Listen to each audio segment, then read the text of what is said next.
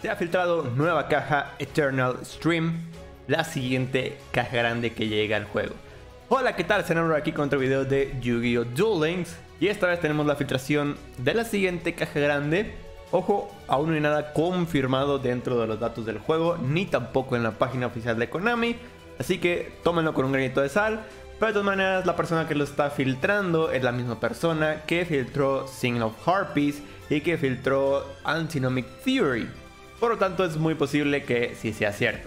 Así que vamos a ver las cartas que trae esta nueva caja. Empezando por las URs, empezando por la insignia.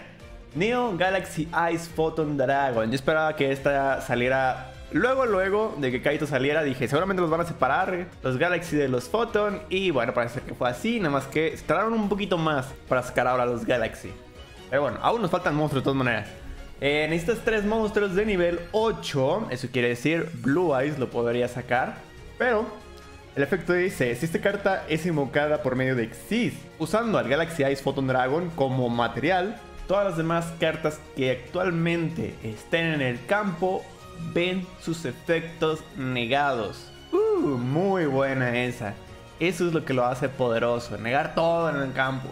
Una vez por turno, puedes desacoplar un material de esta carta. Desacopla todos los materiales de monstruos de tu oponente. Luego, esta carta gana 500 de ataque por cada uno. También puede atacar hasta el número de veces de cada uno de esos en esta Battle Phase. Este efecto sí lo podrán activar todos, o sea, aunque lo invoques con triple Blue Eyes. El problema es que esto, para ser útil, tendría que ser un meta de muchos Exis. Entonces, sí hay Exis en meta, pero no son tantos. Aún así, podría ser útil para los Blue Eyes. Pero bueno, está más diseñado para Galaxy Ice Dragon. Luego, nos vamos a la siguiente carta UR, Heroic Champion Excalibur. Dos monstruos de nivel 4 que sean tipo guerreros, únicamente guerreros. Una vez por turno puedes acoplar dos materiales de esta carta. El ataque de esta carta se convierte en el doble de su ataque original hasta el final del turno del oponente, ¿ok? Tienen 4000. Ya estoy viendo otra forma de hacerlo, te quedas con esta cosa, ¿eh? eh si es ataque original, entonces podrás ponerle el arco que te permite atacar directamente o cualquier cosa que te permita atacar directamente. Luego activas el efecto y aunque te hayas bajado puntos de ataque, efecto nada más es únicamente para su ataque original. Sí o sí va a tener 4000. Así que ataca directamente, GG's. Vale, se podría abusar de esta cosa, ¿eh? Luego nos vamos a la siguiente UR Brotherhood of the Firefist Tiger King. Estas dos monstruos de nivel 4 de tipo Bestia Guerrero. Cuando es convocado por medio de Xyz, puedes colocar un Fire Formation, eh, carta de magia trampa, directamente desde tu deck. Una vez por turno puedes acoplar un material de esta carta. Niega el efecto de todos los monstruos de efecto que actualmente estén en el campo, excepto monstruos guerreros bestia. Hasta el final del turno de tu oponente. Uh, ¿vale? Cuando esta carta es enviada del campo al cementerio, puedes enviar tres eh, cartas de magia trampa Fire Formation que controles a tu cementerio. Convoca de modo especial dos monstruos de nivel 4 o menos, tipos guerreros bestia con el mismo ataque desde tu deck en posición de defensa boca arriba. Ok, bueno, así está bueno. Los Firefist van a querer tenerlo, por lo menos una copia. Y también tenemos otra carta UR, una carta muy nueva de los Firefist. Elephant. Dice, si esta carta es convocada de modo normal o especial, puedes enviar una carta de magia de trampa Fire Formation que controles al cementerio. Convoca de modo especial un monstruo Firefist desde tu mano excepto este mismo. Puedes seleccionar una carta de magia trampa Fire Formation en tu cementerio, barájalo al deck. Luego puedes añadir un monstruo de nivel 5 o mayor Fire Fist desde tu deck a tu mano. Solamente puedes usar cada efecto eh, una vez por turno. Ok, entonces puedes mandar el mismo turno la carta, como otra cosa, y luego regresar esa misma carta del cementerio al deck. Está decente, digo, si hubiera convocado desde el deck también, Hubiera dicho, uff, papu, ya con esto. Está súper buena. Pero cuando más invoca en la mano, tendrás que tener la Fire Formation, cualquiera, este güey y otro monstruo en la mano. Entonces ya es eh, un poco más complicado. Y más porque tampoco se puede invocar él a sí mismo. Entonces, pues me. Pero bueno, es el que te da jugadas. Luego nos vamos a un nuevo arquetipo. Ikelos de Dream Mirror Sprite. Esta carta es convocada de manera especial por el efecto de Dream Mirror, de un monstruo de Dream Mirror, perdón. Puedes añadir una carta Dream Mirror desde tu deck a tu mano, excepto este mismo, durante la main phase o battle phase. Y Dream Dream ¿eh? Si Dream Mirror of Terror está en tu zona de campo, es un efecto rápido, puedes sacrificar esta carta. Convoca de modo especial un Ikelos de Dream Mirror Mara desde tu deck. Solamente puedes usar cada efecto eh, de esta una vez por turno. ¿Y qué hace Dream Mirror of Terror? Dice durante tu end phase puedes desterrar esta carta, activa un Dream Mirror of Joy, que es otra carta de campo, directamente desde tu mano o deck. Solamente puedes usar este efecto una vez por turno.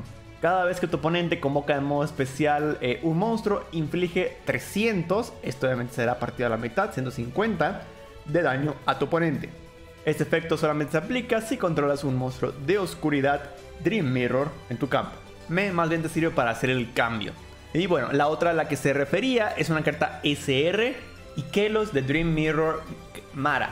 Dice, si esta carta es invocada de modo especial por el efecto de un monstruo de Dream Mirror, eso quiere decir la anterior que vimos, el anterior monstruo, puedes convocar de modo especial otro monstruo de Dream Mirror desde tu mano, excepto a este mismo, durante la main phase o la battle phase si el Dream Mirror of Joy está en tu zona de campo, efecto rápido, puedes sacrificar esta carta, convoca de modo especial, el anterior que acabamos de ver desde tu deck. Solamente puedes usar estos efectos una vez por turno. Básicamente están cambiando y ya. Pero esos cambios te aceleran el deck también. Entonces, el espejo de terror se cambia por el de alegría. Y con eso, eh, los mismos monstruos se pueden cambiar uno por de alegría y otro por terror. Entonces, va acelerando el deck. Vale. Y bueno, como dije, estará SR. Continuando con las URs, Grafa, Dragon Lord of Dark World. Dice, puedes convocar esta carta de modo especial desde el cementerio, eh, regresando un monstruo Dark World que controles a la mano, excepto a este mismo. Si esta carta es descartada a tu cementerio por un efecto de carta, selecciona una carta de tu oponente que controle, destruye ese objetivo. Luego, si esta carta fue descartada desde tu mano al cementerio por un efecto de tu oponente. Mira al azar una carta de la mano. Luego, si fue un monstruo, puedes convocarlo a tu lado del campo. Uy, güey. Está bien. Eh, lo malo es que nada es para Dark World. Pensé que era un poquito más genérico, pero bueno. Dark World ya tienen un monstruo muy bueno para destronar. Y que aparte se puede invocar de manera especial fácilmente. Como los Dark se dedican a descartar, pues easy van a activar el efecto. Muy bien, una carta que muchos ya habían estado esperando desde hace mucho tiempo. Tal vez ya sea muy tarde, pero bueno. Luego tenemos UA Powered Jersey. Carta de equipo para los UA. Equípalo solamente a un monstruo UA. Este gana 1000 ataque de defensa. Y también si batalla con un monstruo de tu oponente, cualquier cálculo de daño que inflija a tu oponente se duplica. Si el monstruo equipado destruye a un monstruo en ataque, puede hacer un segundo ataque durante esta Battle Phase. Durante tu Standby Phase, destierra el monstruo equipado. Esta carta es enviada al cementerio porque estaba equipada a un monstruo. O sea, porque el monstruo equipado regresó a la mano. Puedes regresar esta carta a la mano. Ok. Eh, los monstruos UA siempre están cambiando por otro en la mano, entonces fácilmente lo pueden hacer y así recuperas la carta y así también no se destierra el monstruo que estaba equipado en ese momento. Muy buena carta, la verdad. Digo, es simplemente beatdown, entonces no es súper súper importante, pero le da un plus a los UAs. Y luego, última carta UR, Dark Ruler No More. Niega los efectos de todos los monstruos boca arriba que controla actualmente tu oponente hasta el final de este turno. También por el resto del turno, después de que se resuelva esta carta, tu oponente no recibe daño. Ningún jugador puede activar efectos de monstruos en respuesta a la activación de esta carta. Está muy buena, ya con eso puedes limpiar muchísimas cosas.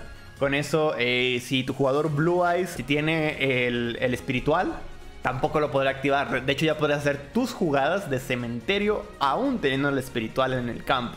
Entonces es una muy buena carta para cuando te estén bloqueando con el efecto de un monstruo. Y ahora nos pasamos a las SRs. Número 64, Ronin Raccoon. Dicen, estas dos monstruos de nivel 2 tipo bestia. Parece que esta caja es de tipos exactos, pero bueno. Una vez por turno puedes acoplar un material de esta carta. Convoca de modo especial un Kagemusha Raccoon token, que es de tipo bestia, tierra, nivel 1, ataque insignia, bueno, incógnito más bien, eh, y cero de defensa. Cuando es convocado, su ataque se convierte igual al ataque del monstruo con más ataque en el campo actualmente. ¿ok? Si controlas otro monstruo de tipo bestia, esta carta no puede ser destruido en batalla o por efectos. Ok, está buena para los decks bestias. Te puedes quitar eh, a un monstruo super poderoso en el campo, nada más estrellando al token. Vale, vale, me agrada, no está mal. El primer nivel 2 decente que hay. Luego, Full Armored Black Ray Lancer. Esta carta ya la tenemos por habilidad, pero ahora, pero ahora la vamos a tener ya por caja. Necesitas tres monstruos de nivel 4 de atributo agua. También puedes convocar por medio de Exis esta carta usando eh, un monstruo de agua Exis de rango 3. Ok, puede hacer un rango fácilmente. Así que los decks de aguas, y silito sacan este güey. Pero bueno, para eso el monstruo de agua no debe tener materiales. Eh, esta carta gana 200 ataque por cada material Exist acoplado a ella. Eso quiere decir que con los tres monstruos tendría 600 extra, 2700. Y si nada más usaste el rank up, tendría nada más 2300. Esta carta boca arriba fuera a ser destruido, puedes desacoplar todos los materiales de ella en su lugar. Esta carta destruye un monstruo de tu oponente en batalla. Puedes seleccionar una carta de magia con todo tu oponente destruye ese objetivo. Ok, puedes limpiar backrow, pero la mayoría de las veces tu oponente va a usar el backrow antes de que puedas destruirlo un mono. Pero bueno, luego nos vamos a más cartas Fire Fist, otra carta SR, y es un monstruo ritual. Puedes convocar por medio de ritual esta carta con formación de fuego Domain. Puedes descartar un monstruo, coloca una carta de magia trampa formación de fuego directamente desde tu deck o cementerio cuando tu oponente activa el efecto de un monstruo, efecto rápido, puedes enviar un Fire Fist boca, boca arriba o un Fire Formation que controles a tu cementerio, excepto este mismo way, niega el efecto. Solamente puedes usar cada efecto eh, una vez por turno. Vale, lo malo es que no destruye al, al, monstruo, pero bueno, por lo menos puedes negar el efecto. Y nos dice hasta el final del turno, así que pues ya, se queda negado el efecto del mono. Está bien. Y tenemos Fire Formation Tenki, carta continua. Si esta carta es activada, puedes añadir un monstruo de nivel 4 o menor bestia guerrero desde tu deck a tu mano. Todos los monstruos bestia guerrero que controles ganan 100 ataque. Solamente puedes activar una de estas por turno. Es el buscador y más bien nada más lo quieres eh, activar, buscar y luego con los efectos que ya hemos visto antes, tirarlo otra vez al cementerio para poder activar los demás efectos. Vale, muy buena. Como dije, busca lo que necesitas. Luego, Heroic Challenger Assault Halberd. 1800 de ataque dice, si tu oponente controla un monstruo y tú no controlas monstruos, puedes convocar esta carta de modo especial desde la mano. Esta carta ataca a un monstruo en posición de defensa, inflige daño de batalla a tu oponente. Cuando esta carta inflige daño de batalla eh, tu oponente, a tu oponente, puedes añadir una carta heroica desde tu deck a tu mano. Ok, puedes buscar lo que sea monstruos, cartas de magia trampa. Vale, me parece bien y se invoca de manera especial. Te permite hacer también los exis. La siguiente SR era Dream Mirror Mara, ya la vimos. Luego tenemos Charge into a Dark World. Selecciona un monstruo de nivel 4 o menor que sea demonio en tu cementerio. Convócalo de modo especial. Luego descarta un monstruo demonio. Solamente puedes activar uno de estos por turnos. Muy buena carta también para los Dark World. Todo, todo lo que sea, eh, ya sea que te permita hacer invocaciones o que robes, son muy buenas. Entonces, eso ya te permite revivir cualquier cosa que hayas descartado antes. Y aparte descartar otra cosa para también activar su efecto de descarte. Luego tenemos Onomatopía. Carta de campo.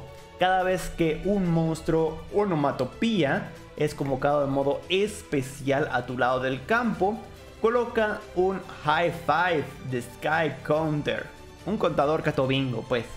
Eh, en esta carta, todos los monstruos eh, ganan 200 de ataque y defensa por cada contador Catobingo en la carta. Una vez por turno, puede remover dos contadores Catobingo. Convoca de modo especial un monstruo, Subaba, Gagaga, Gogogo o Dododo desde tu deck. Uh, y no especifica un nivel, no especifica nada, entonces muy buena. Lo malo es que tienes que estar esperándote para tener los contadores, pero bueno, como son convocados de modo especial, con convoques a dos, ya convoques a otro desde el deck. Vale, vale. Más soporte para Utopía. Ahora creo que sí van a ser tocados. Luego tenemos UA Signing Deal.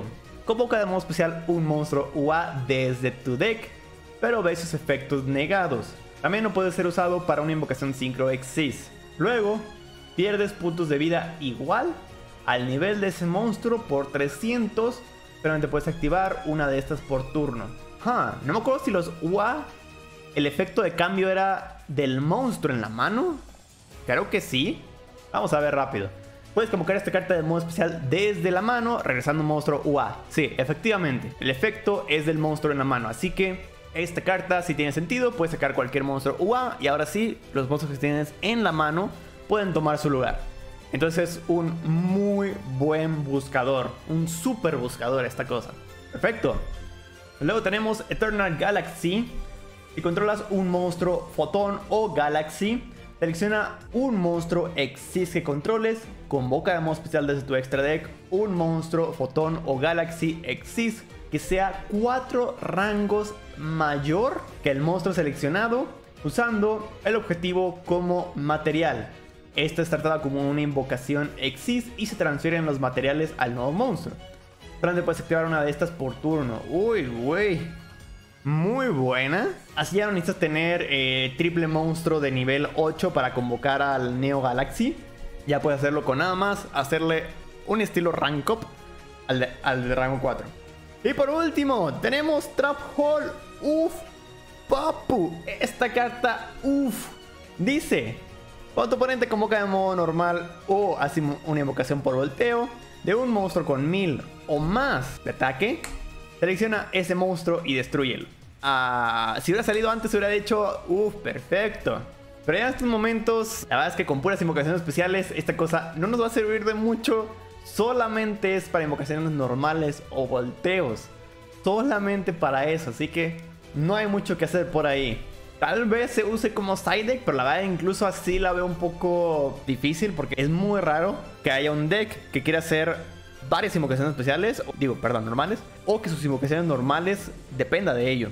Por ejemplo, podríamos decir que los UAs dependían de convocar de manera normal al güey de nivel 4, pero oye, ya con la nueva carta mágica ya ni, ya ni siquiera necesitan eso, ya todo es especial. Entonces, por eso es que digo que... Ah. Pero bueno, Díganme ustedes qué opinan en los comentarios. Esas son todas las cartas URs y SRs que vienen en esta nueva caja. ¿Cuáles creen que sean los decks más poderosos? ¿Cuál deck creen que vaya a tener mucho potencial en el meta? Por mi parte será todo, muchísimas gracias por ver este video, recuerden dejar like si les gustó, no olviden suscribirse al canal si no han hecho y nos vemos en la próxima, bye bye.